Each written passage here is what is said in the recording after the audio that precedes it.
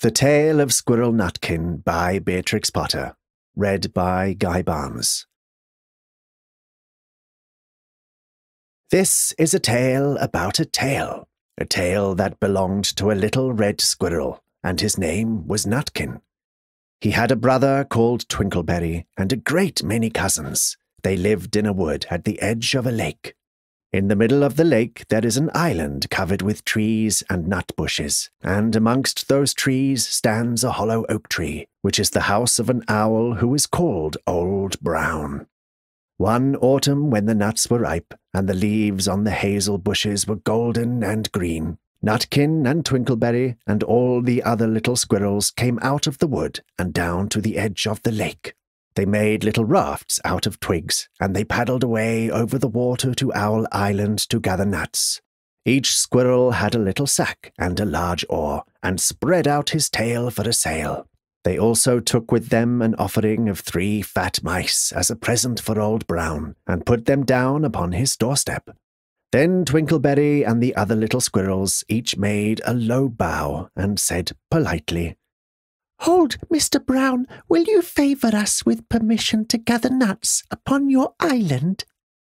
But Nutkin was excessively impertinent in his manners. He bobbed up and down like a little red cherry, singing, Riddle me, riddle me, rot tot tote, a little wee man in a red, red coat, a staff in his hand and a stone in his throat. If you tell me this riddle, I'll give you a groat. Now, this riddle is as old as the hills.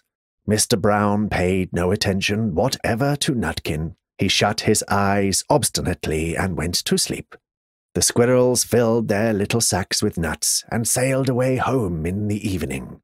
But next morning they all came back again to Owl Island, and Twinkleberry and the others brought a fine fat mole and laid it on the stone in front of Old Brown's doorway and said, Mr. Brown, will you favour us with your gracious permission to gather some more nuts?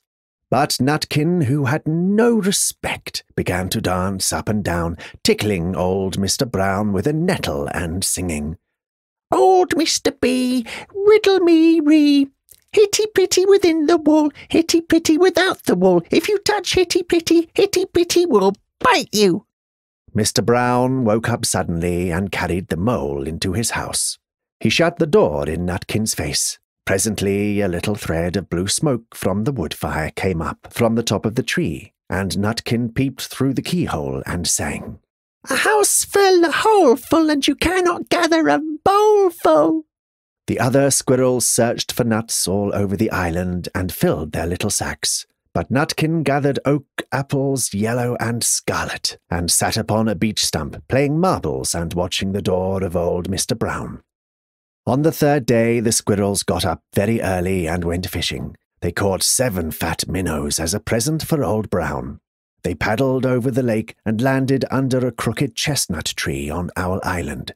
Twinkleberry and six other little squirrels each carried a fat minnow. But Nutkin, who had no nice manners, brought no present at all. He ran in front, singing, The man in the wilderness said to me, How many strawberries grow in the sea? I answered him as I thought good, As many red herrings as grow in the wood. But old Mr. Brown took no interest in riddles, not even when the answer was provided for him. On the fourth day, the squirrels brought a present of six fat beetles, which were as good as plums in plum pudding for Old Brown. Each beetle was wrapped up carefully in a dock leaf, fastened with a pine needle pin. But Nutkin sang as rudely as ever. Old Mr. B, riddle me ree, flower of England, fruit of Spain, meet together in a shower of rain, put in a bag tied round with a string. If you tell me this riddle, I'll give you a ring which was ridiculous of Nutkin, because he had not got any ring to give to Old Brown.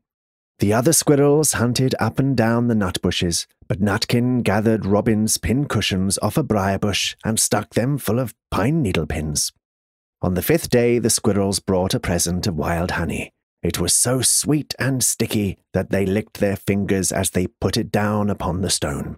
They had stolen it out of a bumblebee's nest on the tippity top of the hill. But Nutkin skipped up and down, singing, Hammer bum buzz, buzz, hammer, bum, buzz, buzz. As I went over Tippletine, I met a flock of bonny swine, some yellow nacked, some yellow backed. They were the very bonniest swine that ever went over Tippletine. Old Mr. Brown turned up his eyes in disgust at the impertinence of Nutkin, but he ate up the honey. The squirrels filled their little sacks with nuts, but Nutkin sat upon a big flat rock and played ninepins with the crab apple and green fir cones. On the sixth day, which was Saturday, the squirrels came again for the last time. They brought a new laid egg in a little rush basket as a last parting present for Old Brown. But Nutkin ran in front, laughing and shouting. Humpty Dumpty lies in the beck with a white counterpane round his neck. Forty doctors and forty wrights cannot put Humpty Dumpty to rights. now old Mr. Brown took an interest in eggs. He opened one eye and shut it again, but he still did not speak. Nutkin became more and more impertinent. Old Mr. B, old Mr. B, Hickamore Hackamore on the king's kitchen door. All the king's horses and all the king's men couldn't drive Hickamore Hackamore off the king's kitchen door. Nutkin danced up and down like a sunbeam, but still Old Brown said nothing at all. Nutkin began again. Arthur O'Bower has broken his band. He comes roaring up the land. The king of the Scots, with all of his power, cannot turn Arthur of the Bower. Nutkin made a whirring noise to sound like the wind, and he took a running jump right on the head of Old Brown.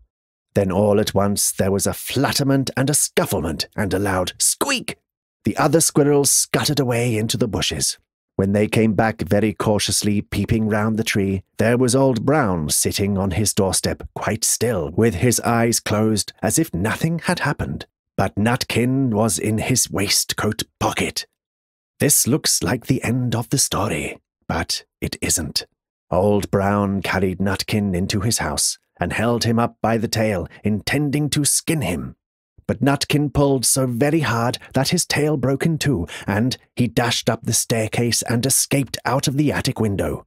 And to this day, if you meet Nutkin up a tree and ask him a riddle, he will throw sticks at you and stamp his feet and scold and shout.